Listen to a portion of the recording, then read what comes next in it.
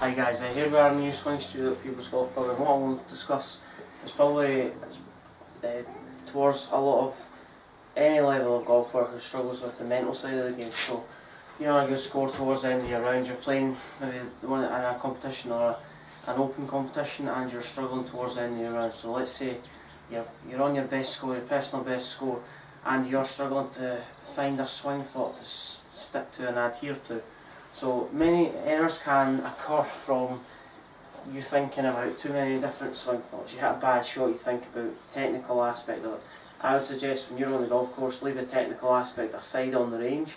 Only have one. I have one swing thought for each club, and that is probably directly the same for every shot that I play regarding trajectory, flight, curvature, and the landing zone and run out. So it's kind of it's not too dissimilar to that. So there's one there's one fall that I learned from a good good old chap called Harvey Penick, and what he said was when you're struggling with your your round of golf, take always think about positive. Don't think about negativity. When you think about negative thoughts, then that's where you're going to doubt yourself and you're going to hit poor shots.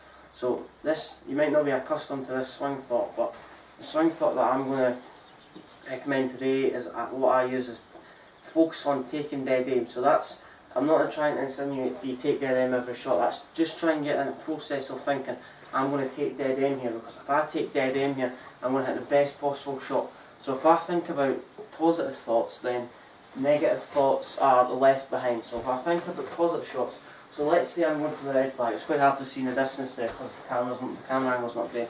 But let's say I was to take dead aim. So if I'm taking dead aim, I'm focusing on that target. So in order for me to hit the shot correctly, I've got to swing along the target and take dead aim. So if I take, think about taking dead aim, I will commit to the shot. There's none of this where I'm coming out the shot early or I'm not fully rotating through impact. So try try that swing thought. So take dead aim, I'll hit the shot.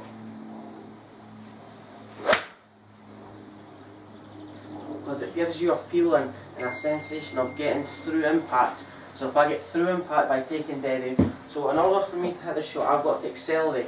So there's none of this where you're struggling towards the end of round and you're, you're, we all get anxiety, we all get tension in our swing, we all feel um, a bit tension throughout the game. So we get to this position then, we kind of throw the arms at it, so we get this, and then we kind of throw the arms at it, my shoulders haven't rotated, they're pointing to the right, so they're slightly open. So taking dead aim, so take dead aim, I'm trying to focus on releasing my arms through impact. So my shoulders aren't open, my hands aren't in this high right position, my hands finish low and left by taking dead aim. So I'll hit another shot, so take dead aim, focus on that target in front of me and release that club over that target.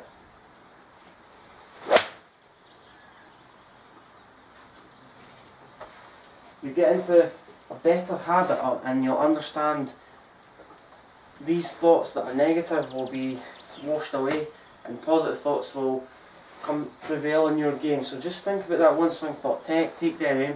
It was a, it was recommended by Harvey Penick and it's a great swing thought to relate to if you're struggling. So if you've got any thoughts, let me know and all my social media platforms are attached below.